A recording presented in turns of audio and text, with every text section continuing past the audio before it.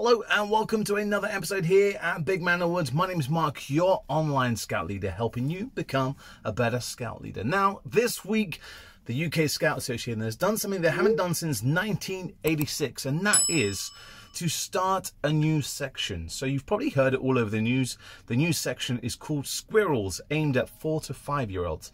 Now this week, uh, it's been all over the press, and in particular, Bear Grylls was on a breakfast TV channel um, launching it on Thursday. And I was watching the interview and I thought, Bear, you didn't answer all those questions correctly. So do you know what I'll do? We're going to do a reaction video Woo! Uh, and try and answer, well, expand some of Bear Grylls' answers that he was asked live um, by Martin. Uh, so let's head over to ITV and we'll watch the interview at the same time. We work closer to home. Bear Grylls, who is also the chief leader of the Scouts, and you're launching a new group for the younger generation is coming along. Uh, it's the Squirrels, isn't it? Squirrel Drays, four to five-year-olds for the first time will be part of the Scouting movement. It, this is big change. Bear Grylls, everyone knows my man crush about Bear. It is, yeah. First time in 35 years that the Scouts have opened up Scouting to a different age group. So we've had, mm. obviously, Cubs and Beavers and Explorer Scouts, but now we've got this younger age of four to five-year-olds called squirrels. Uh, and it's really a response, though, to overwhelming demand of young people who want to get involved in scouting. You know, we've got 60,000 young people on the waiting list at the moment to join the Scouts. So we piloted this in, in some of the toughest, most underserved areas, most diverse areas of the whole country, and it went crazy. In fact, it was started in, in Northern Ireland about two years ago. They've been running over there, so it's been going really well. And I know some squirrel leaders uh, who I was speaking to during COVID um, and said it's just amazing. And uh, so today we opened 200, as you say, squirrel drays. So a really exciting time for, uh, for everyone involved in scouting. Uh, it's not, as one journalist said to me, so you're opening scouting for 45-year-olds. Bad joke, Bear. Bad joke. That'd be good. I said, I'm in. It's for two five-year-olds. 45-year-olds can be scouts, though, can't they? Hey, once a scout, always a scout. Yeah, exactly yeah. right. Oh, what happened to scouting during lockdown? Because that must have been a massive challenge. It was a, it was a massive challenge, you know, but we adapted and, and actually we're coming out of it really strong and this is such a positive thing mm. for, you know, I think young people, as you know, we all know, the, the ones that have suffered most during this last 18 months. And young people need the whole thing of adventure and friendships and connection and community. And this is opening it up to that age group that are especially vulnerable and have had, yeah. you know, a really hard time kind of not being able to see people.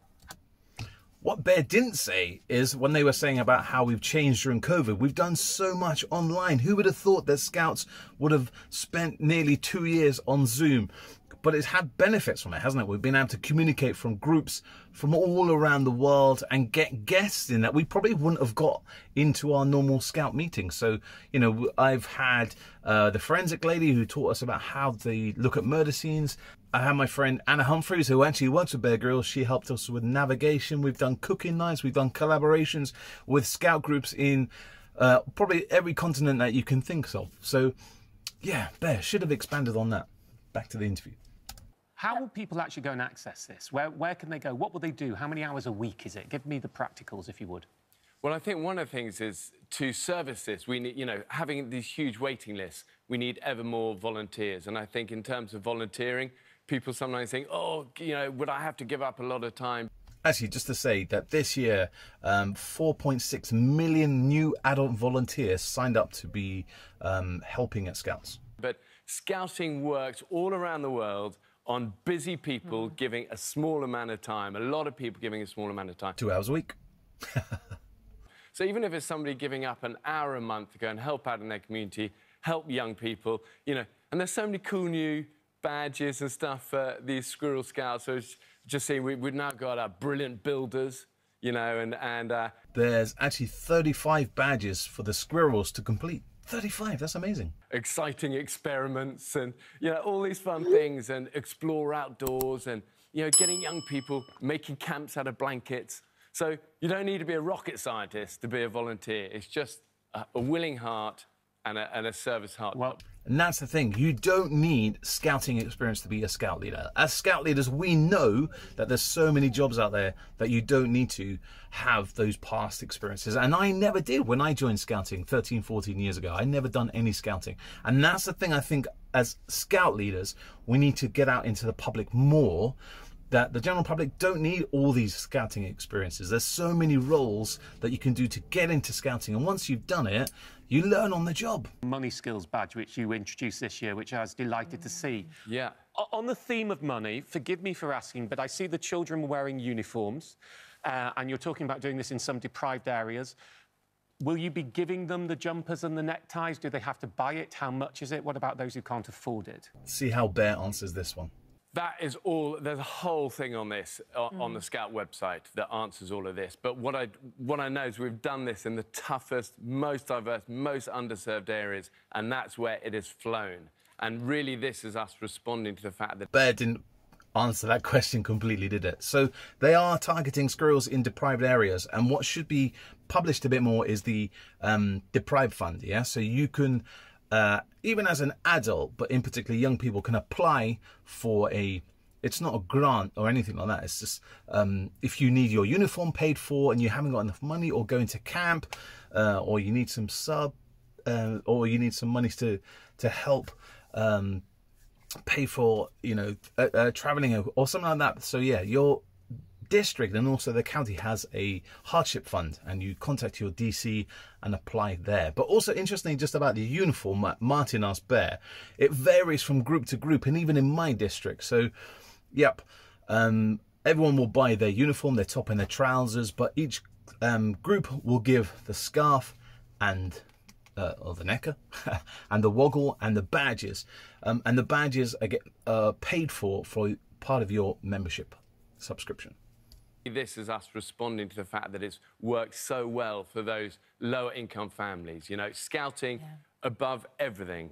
is available to people who So have very little. Check So- it out, and you'll be able to help people Yeah. if Yeah, they can't yeah, afford for it's their a kids sort of to go. wishy-washy answer because I, I don't. did they just ask bear will you be able to pay for scouts i think he just said as a wishy-washy answer imagine bear grylls paying every scout's subscription know the exact numbers, but it is all there. On I'll tell you what, I, I read it in the briefing and I was giving you a chance. It costs £13.50 for the jumper. You give the necktie, and if people can't afford it, you will £13.50 depends where you buy it from i guess provide the jumpers for them. Scouting teamwork. I love it. There we are. Oh, are. I love it. Always be prepared, Grylls. Be prepared. yeah. You are good for you. So there we go. There was Bear's uh, interview on Good Morning Television just a few days on the launch day of Squirrels UK. And I thought I'd just expand some of those answers that Bear didn't fully answer. Just wanted to add two things. Uh, so Squirrels are four to five, and lots of questions going around the internet, social media. What happens between five and six? Because Beavers doesn't actually start until they're age six. Um, you can stay on. I'm not sure why it's advertised Squirrels four to five when it's that little bit of leeway. Just like Beavers, Cub Scouts, you can have a bit of leeway before and after. So that's one thing. Uh, but what I wanted to say is I'm loving the squirrel uniform, in particularly the color red. Now think about this logically. Why is the color red with squirrels and the connection red squirrels? You got it? Yes. I was going to pick up my Brownsea Island uh, scarf then, but I realised I haven't got it. It is because the connection with Scouts and Brownsea Island, and on Brownsea Island they're full of red squirrels. That's why the squirrel top is red. Loving that touch, Scout HQ. Well done. Big thumbs up for that one. So, my question for you um, is: Your group going to set up squirrels? Are you are you excited to have a dray in your group? It'd be quite fun, wouldn't it? But I think for my group, we were looking at it. Um, we have a nursery that run till six o'clock, and the squirrels they're talking about doing a five to six kind of slot. So maybe doing it at the weekend, um, then you won't have to rush home from work, and also the little squirrels have time to have dinner straight from school and then go off to squirrels. So maybe something to think about in the new year of setting up a dray at your group and running it at the weekend. Don't know. Or maybe you have set up a dray colony. Let me know. Comment below. I'd love to know if you are one have a dray already set up, or maybe you're considering it. Well, there we go, guys. Uh, until next time, guys, don't forget subscribe to Big Man in the Woods. Click that notification bell, and that will tell you every time I upload a new vlog. Don't forget, watch this, play us here. So all that scouting. Until next time, guys, happy camping and take care. Bye.